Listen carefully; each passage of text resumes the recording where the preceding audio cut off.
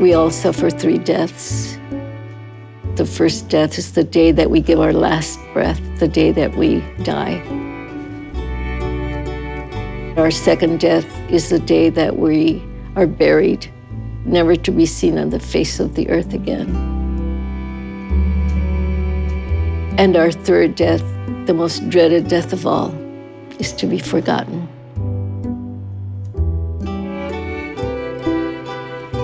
And that's why I do this.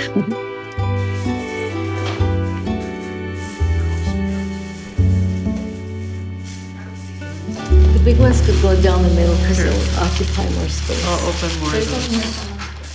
The work that I do today is building altars for Dia de los Muertos.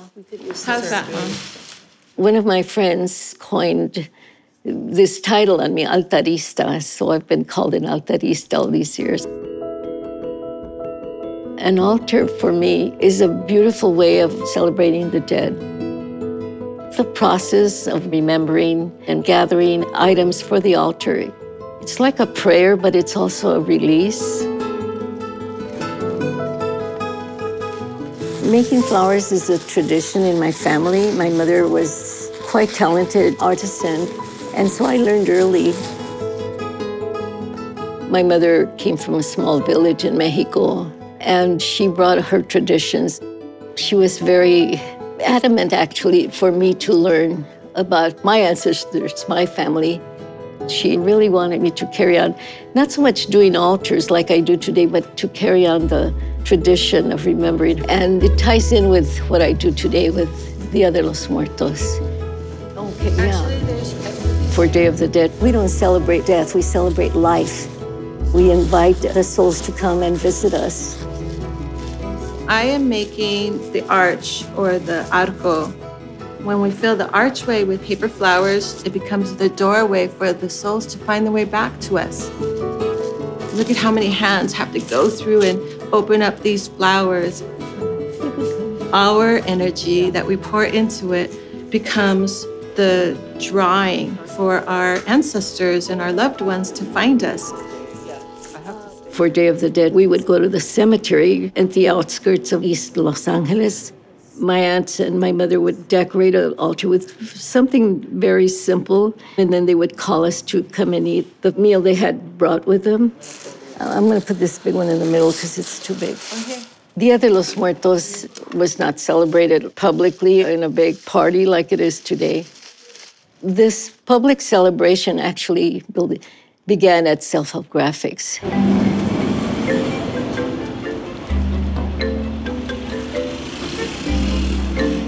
Self Help Graphics was one of the very first organizations to ever celebrate Dia de, los Muertos in earnest in the United States.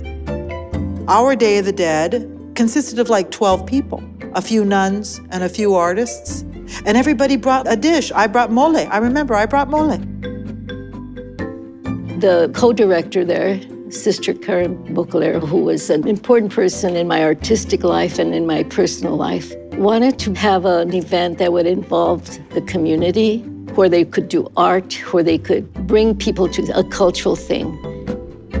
The mission of Self Help Graphics has always been to bring art into the community, to bring the community into art experience. This is what Sister Karen really believed that art belonged to everyone. Sister Karen was definitely ahead of her time, and we were all a little bit crazy, so we went right along with her.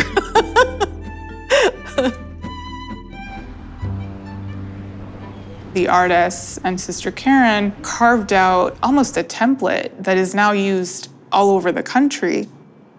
They took Dia de los Muertos from something that was very intimate, very familial, uh, and blew it up with the purpose of building community. Dia de los Muertos constantly evolves, and it's a reflection of the community as the Chicano identity has evolved, as the city of Los Angeles has evolved. Any sort of fusion or exchange of ideas, um, I think it's so, it's so LA.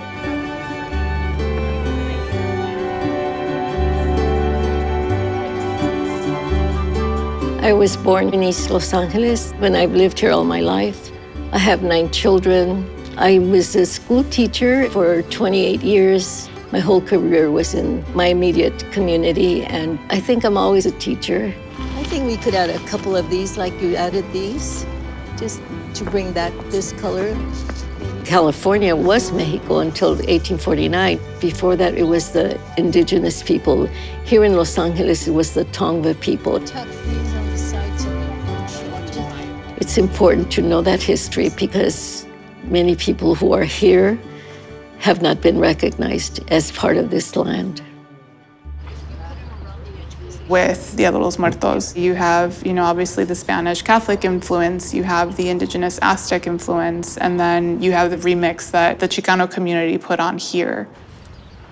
Chicano basically is Mexican born in the United States. I mean, that's literally what it is. But now the Chicano movement has also taken on Latinos of all, from all countries, from all backgrounds, from all histories. I would say that Chicanismo has a place for everyone.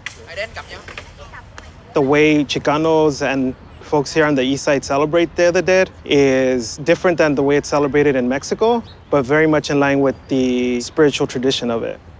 The biggest difference is access to the cemeteries at night.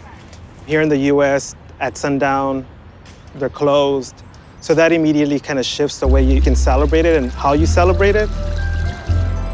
We have been partnering with Grand Park to bring in artists, to bring in community organizations and individuals to create different altars.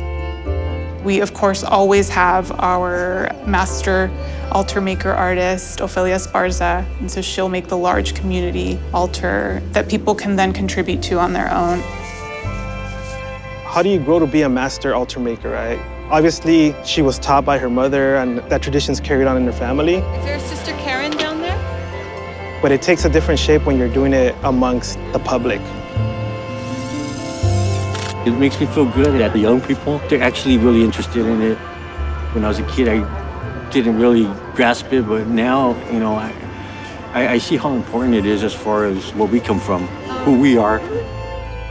The Day of the Dead is celebrated two days. The first day is for kids and babies and pets who've passed away. The second day is for grown-ups who've passed away. It's, in, in Spanish, it's called De los Muertos.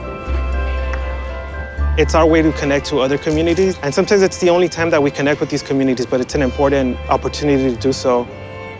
Her father passed away last year, and she said, huh, it would be neat to build one for my dad. So it's not in our direct cultural lineage, but I think it would be an interesting I think it's a way great to way to remember someone. Yeah. Yeah, I'll put my mother somewhere in the center.